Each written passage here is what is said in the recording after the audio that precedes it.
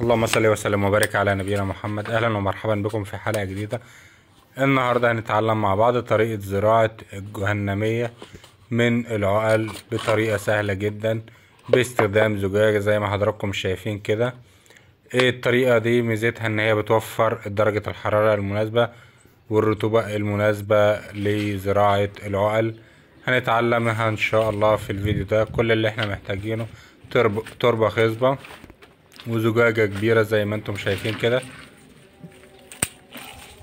وطبعا العقل تكون لسه مقطوعة من شجرة الجهنمية أول حاجة بنقص منها الأوراق عشان إيه ما تمتصش العصارة من النبات.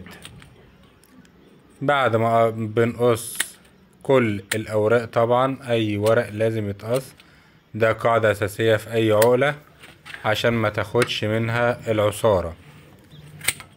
بنقطعها حوالي كل عقلة حوالي شبر تقريبا أو عشرين سنتي. مش شرط طول معين. قطعنا العقلتين بتوعنا أهو. ممكن نحط هرمون تجزير ممكن ما نحطش عادي.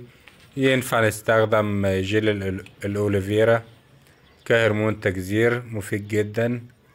بالنسبة, لشجرة الجهنمية فهي مش محتاجة لأنه إيه ما شاء الله نبات شغال بيشتغل جذوره بسرعة وبيشتغل على طول. بنزرعه طبعا لازم نعرف الاتجاه بتاعه الاتجاه ال- سواء كان لأسفل أو لأعلى نعرفه عشان إيه يطلع معانا ويشتغل معانا. طبعا الري بيكون ري في الطريقة دي بيكون ري رش التربة فقط وكل أسبوع لأن الزجاجة هتحتفظ بال بالمية وبالرطوبة فيها.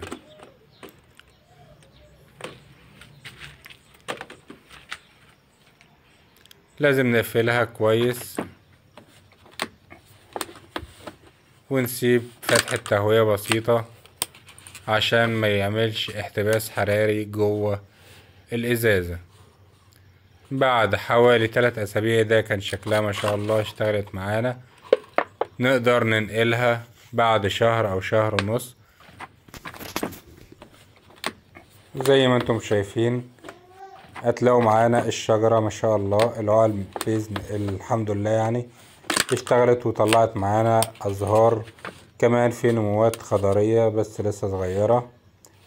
إيه طبعا مهم جدا في الزراعة العناية بها والاهتمام بها أسبوع أسبوعيا أو كل تلات أيام على حسب الجو سواء في الري أو في التربة بتاعتنا.